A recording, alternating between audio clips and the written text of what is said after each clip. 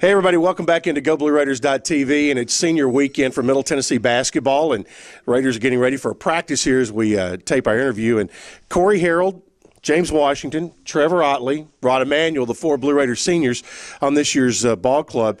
Uh, I want to. I will start with Cory because he is uh, farthest to my right, and uh, your left. Cory from Franklin, Tennessee, and Cory, tell everybody you had a little bit different route to senior day as the other three. Uh, yeah, um, I went to uh, the walk-on tryout two years ago, and uh, ended up coming on as a manager. And uh, I guess you know I worked hard all through the manager and did what Coach Davis asked me to do. And after that season, I asked him if I could be a walk-on, and he said uh, he he liked that and he'd think I'd be good at it. So that's what I did. Kind of followed in Matt Joines' footsteps, didn't you? Yeah, yeah. He he was my inspiration for it. Matt Joines was, yeah. Well, well, tell me what it's meant for, for you to be part of this basketball team.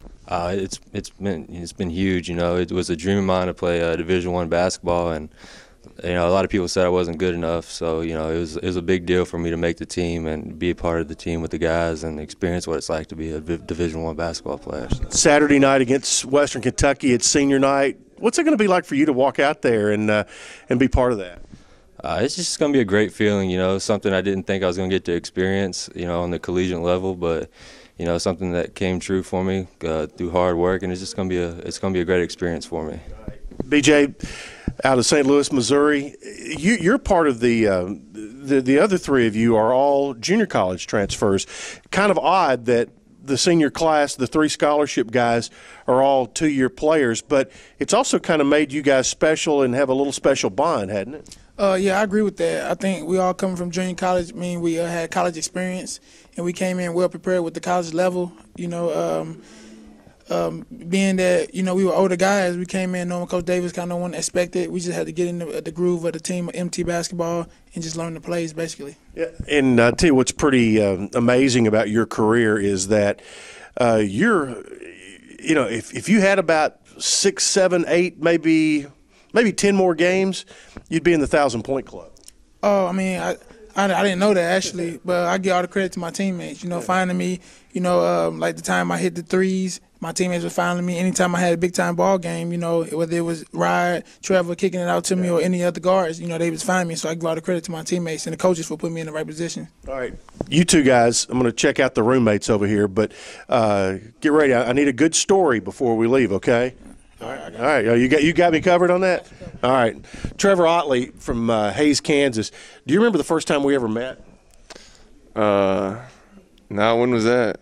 When you came knocking on my office door. Oh yeah, yeah, yeah. I remember that. We had a nice talk. If you remember, you came here in July, moved in, and uh, I don't know whether you were bored one day or whether I, I think it, to me now that I know you so much better after two years, is that it was all part of your personality. You were just knocking on doors and said, "Hey, uh, I'm going to be playing ball here, and think I need to meet you." Yeah, yeah. I, I, knocked on about six or seven doors that day. I think I met the football coach, the AD, and uh, the women's coach. Yeah, I was. Uh, it was that was my first day. I remember that. It was. Uh, we actually had a pretty good talk. We, we did, and we've had several since. Oh yeah, I definitely dropped by. Uh, you got a rubber band ball in there. I always play with, and I always come in there and give you a hard time.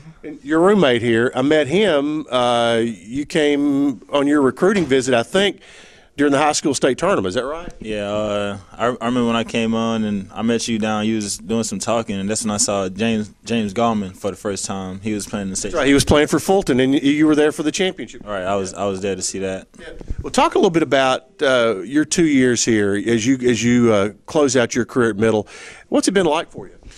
Uh, went fast, to tell you that. But uh, I, I learned a lot of cultural experiences as far as, and then I say climbing experience. I come here, coming from Florida, I never seen snow before, and then come up here and I saw snow. I, I was shocked. You can ask Trevor. We went on and had our first snow fight, snowball fight uh, last year, and I only seen things like that on TV. I never been a part of it, so that was pretty fun. And coming from Orlando, a lot of people aren't that friendly. I come up here and everybody's so friendly. You can walk down the street, people will wave at you and talk to you. It's not like that where I'm from, so. I learned a lot. I mentioned that you guys are roommates. Uh, I think uh, one thing about it is your personality has rubbed off on Rod, and Rod's personality has rubbed off on you. And uh, it's been a pretty good pairing, hasn't it, along with Brad Kerr? Uh, well, I mean, I definitely think I bring the most to the uh, to the house. So. Oh, yeah. come on. yeah, I'm glad I rubbed off on Rod. I think I really helped him out in the long run. Okay, well, let me ask you this. Tell me about the picture. Oh man, uh, I don't know if you ever seen Step Brothers. It's one of the greatest movies ever, and uh, we decided to get together. You know, if we were going to live together, we are going to be a family. We we got our uh, we went to Goodwill, got some nice sweaters, some turtlenecks, and suit jackets, and we all did a little photo shoot. Went to uh, Sears, got our pictures taken. It's a great place. And we got them blown into uh, posters on our wall in our apartment. Well, uh, I've done a little reconnaissance, and the folks who are watching this are now seeing that picture. Uh, are you serious? I'm serious. Uh, I, I, I don't mind. He, he's the one that's embarrassed. Uh, you, you look good. It looks like my three sons, and that's kind of dating me a little bit. Okay, BJ, you, I, I told you, you're you're the storyteller. You're when whenever I hear noise coming from the back of the bus on a road trip, I always hear you in there somehow. So I know you've got a good story. I got a good story. What kind of story you want to hear, Chip? One that can go on TV. Uh, first of all, first of all, I want to go back to when you interviewed Trevor. You said that he rubbed off on Rod. Let me tell you, everybody in MT at MT campus know that if Trevor around, he gonna rub off on anybody. Talk about about these guys uh, because you, you, talked about Trevor's personality. He kind of reminds me a little bit of Boogie because everybody on campus knows him. Yeah, I, I agree with that. When I first got here, you know, uh, Boogie, as everybody knows, he's well outspoken. You know, saying he's a real good guy. And when I first came here, Trevor Ottley was never shy at all. And uh, I think everybody on the team would agree with you. But then again, though, he just he's just fun, outgoing, like to have fun. You know, a great guy to hang around twenty four seven. What about the story? You got a, you got something good? Um, I mean, I got I got plenty of stories, man. It's, just tell me what kind of topic you wanna you wanna. I'm gonna leave it up to you. It's your it's your senior weekend. Um, hmm. So I don't you you had you've had good relationships with the coaches, uh, that kind of thing. Uh, I mean, I can get, I can give you one of Coach Case's stories. Oh, please! Oh, there's a there's a ton of those. All right. Uh, give one of my motivational speeches. oh, I'm gonna give you one of the motivational speeches for Coach Case. Um, no, I'm, I'm, gonna give you a story. You know, he he told a story about about a man named Leroy, right? I've heard this story. You heard this story before? Oh, yeah. Well, I mean, all right, it's Leroy, right? Is it um, Coach Case's good friend he grew up with, and um, you know what I'm saying? He said that the man was real strong. He worked out, ate right, everything. Didn't smoke, didn't drink anything. He said, you know, it can happen to anybody. He said he just walked across the street one day and got hit by a big old Greyhound bus, right, at approximately 5:30 p.m. So, you know, everybody's like, Coach K, why are you telling this story? And he says the more to the story that no matter who you are, or you saying how good you eat, or you healthy, your healthy habits, whatever, that you can just get that you can die any time of the day, anywhere. So you know, Coach K's got about a thousand stories that, and I think none of them really have a significance to him. Well, and, and actually, there's a possibility that some of them may actually be true. We're not sure of that though. Hey, that's. I mean, I ask him every day. He swears the guy that all of them are true. so, um, Cory, you being from Franklin, you grew up around Middle Tennessee, and, and, and all that. Tell me about you. Where are you going to be in five years? Five years, uh, hopefully coaching basketball somewhere at the college level. Uh, my goal is to get on as a graduate assistant somewhere after this year and get my master's degree. And then after that, hopefully, I'll be uh, coaching or assistant coaching somewhere at the college level or junior college level, somewhere down the road. So, all right, BJ, what about you? Five years. What, what's what's what's the story going to be? Shoot, five years from now. I mean, I think only God knows that, but hopefully I'm uh, somewhere playing basketball, you know, making some big time money. You know, uh, basketball is my love, my first love. That's what I love to do. Remember your brother over here now when that happens. Uh, uh big chill. Oh yeah, you know we grew up, baby. but uh, yeah, hopefully I'm somewhere playing basketball, and then you know after that I want to pursue also coaching and stuff like that too. All right, good deal. Trevor, what about you? What do you think uh, in five years? Man, that's that's the big question. Everybody keeps asking me that from my family, and uh, you know I don't have an answer for you. Um, I'm just kind of, I'm pretty well open to anything. I think I could pretty well, I could see myself ended up anywhere in the world, mm-hmm. and uh, just I want to be successful and uh, you know make my family proud. Well, I tell you one thing, Trevor will not be afraid to knock on some doors and uh, to try to get that career uh, going. Rod, what about you? What are your career goals? Uh, my career goals, I'm probably, I'm thinking about going to like a human resources field, but if I say five years from now. I just say the same thing I said last night at a coach's interview. Somewhere I'm gonna be sitting on top of the world.